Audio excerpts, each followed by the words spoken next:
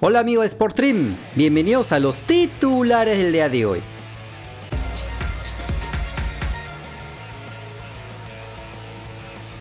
Por la jornada 5 del torneo de finalización de la Liga Betplay de Colombia, el Deportes Tolima de Ratsil García perdió por 2 a 1 en su visita al Atlético Bucaramanga.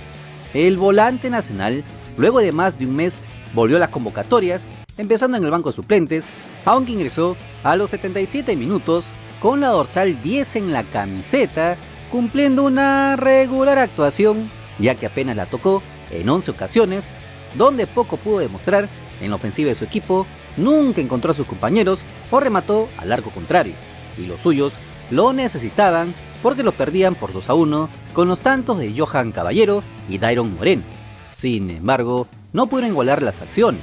Con este resultado, el equipo Picao es décimo segundo con 5 unidades y en su próximo partido deberán visitar al Deportivo Independiente Medellín por la vuelta de los cuartos de final de la Copa Colombia, donde deberán darle vuelta al 3 a 1 del partido de ida para seguir en competencia.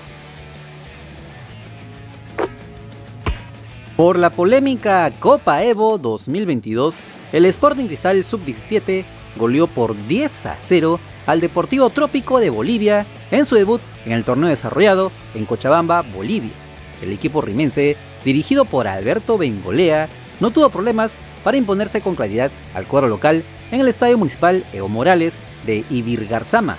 Los goles marcados fueron por Sebastián Sánchez, Alejandro Pósito en dos ocasiones, al igual que Iván Whitson, Yamir del Valle, Mateo Rodríguez, Fabián Cabanillas, Teo Salinas y Carlos Castillo, con lo que se llevaron los tres puntos.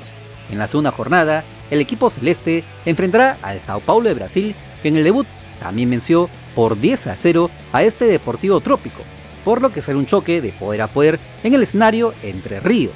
Esta copa, poco publicitada, tiene a clubes históricos de todo el continente como River Plate y Boca Juniors de Argentina, Sao Paulo o el gremio de Porto Alegre. Así que esperemos que nuestras futuras promesas tengan el rostro internacional que se necesita y sobre todo a portas de ser anfitrones del Mundial Sub-17 el próximo año.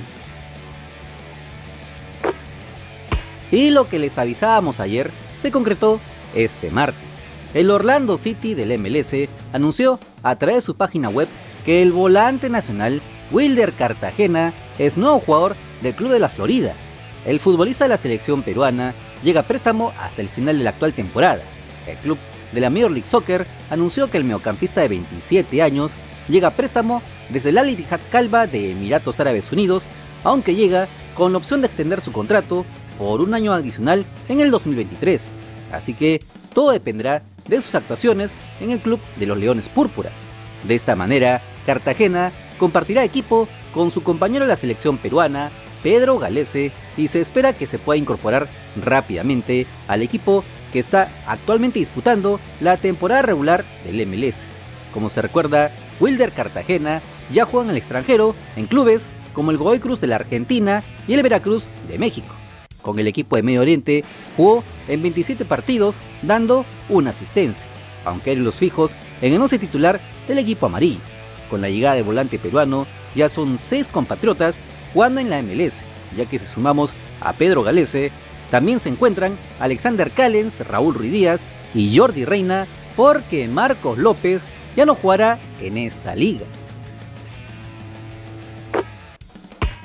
Y lo que se venía voceando desde hace varios días se iba a confirmar el día de hoy, el fichaje de Marcos López por el Feyenoord de la Eredivisie.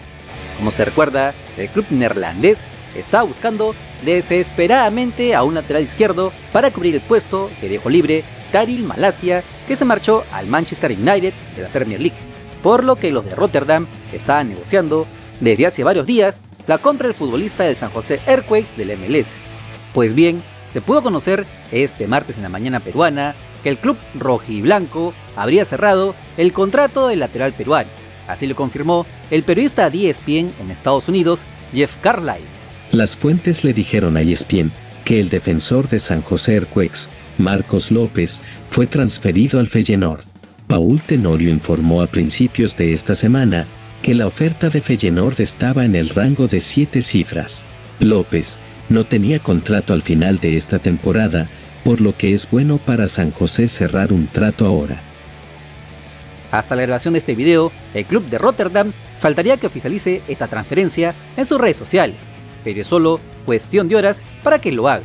Lo cierto es que ya podemos hablar del pase de un futbolista peruano a una liga de primera división europea, con lo que ya podemos desechar varios mitos que se tienen con respecto a la Major League de que no venden jugadores a ligas del viejo continente, o que si por no ir a mundial tendríamos a menos futbolistas en una liga de buen nivel de Europa.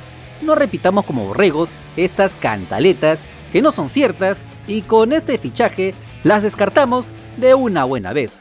Hace un par de semanas atrás mataron a Luis Iberico por decir que quería jugar en el MLS. Y ahora, ¿dónde estarán esos asesinos de los teclados? Porque el crecimiento de Marcos López en su equipo es el que le abrió las puertas a Europa. El lateral de 22 años ha jugado en 19 partidos y anotado un gol de manera oficial en la Major League Soccer. Además, ha sido constantemente convocado a la selección peruana bajo el mando del ex técnico argentino de la blanquirroja, Ricardo Gareca y ahora da el gran salto a la Eredivisie, a uno de los clubes más grandes de este país, midiéndose con históricos como el Ajax de Ámsterdam o el PSV Eindhoven. De esta manera, sumamos a un compatriota más en Países Bajos, ya que Miguel Araujo, Fernando Pacheco y Gonzalo Sánchez se encuentran en el recién ascendido el M, que dicho sea de paso, hoy se encontraron en Países Bajos. Esperemos entonces que a todos les vaya bien en este país que está mirando de cerca a nuestros compatriotas. Por el partido de pretemporada, el Alfa T de Cristian Cueva y ahora Alex Valera le ganó por 3 a 1 al Randolji de la segunda división de Eslovenia. El volante nacional fue titular jugando solo el primer tiempo, cumpliendo una buena actuación, como siempre, estando movido en todo el frente de ataque, mostrando el chocolate peruano que le conocemos, y encima de todo, se mandó con una asistencia. Su equipo ya lo perdía por la mínima diferencia cuando a los 14 minutos se asoció por la izquierda con Ayman Al-Khalif, con quien armó un par de paredes atacando el espacio vacío para que el delantero saudí anote el empate transitorio tras un buen pase de Cuevín. Luego vendría el segundo gol del equipo árabe a los 22 minutos y el tercero caería en la segunda mitad cuando se cambió al equipo completo del Alfa T.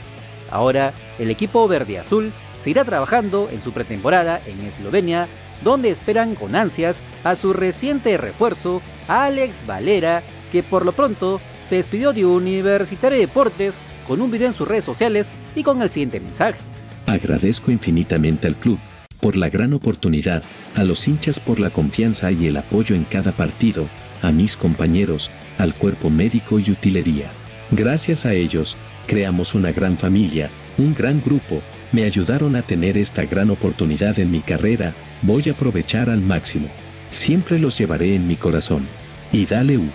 Esperemos entonces que a la legión de futbolistas peruanos en Arabia Saudita sigan teniendo buenas actuaciones. No te olvides que si quieres estar enterado de las últimas noticias nacionales, solo suscríbete al canal porque somos el canal del fútbol peruano. Si te gustó el video, like, comparte, suscríbete con la campanita. Nos vemos en el siguiente video. ¡Chao!